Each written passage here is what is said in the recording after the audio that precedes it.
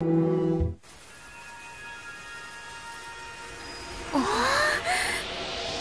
るほど。皆様にお会いするのはいつも窮地に立たされた時なのですね。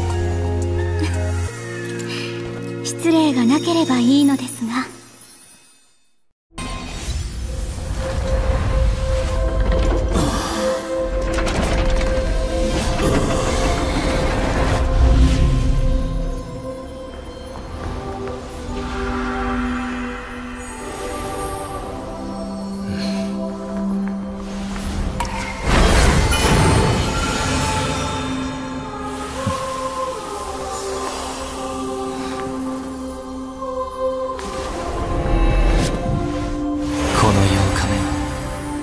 私自身旅立ちを授けましょ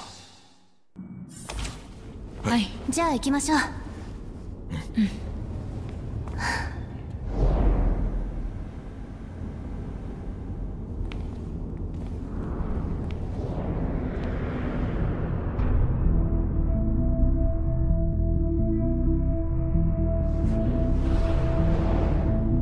これは誰も知ることのない小さな波乱。あなたならわかるでしょ天才にとって。質問は答え以上に重要であると。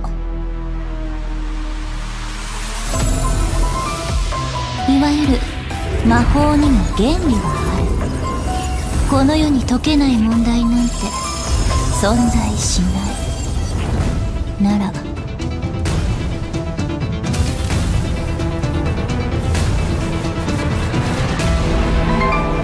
全知の存在よ。ここに問う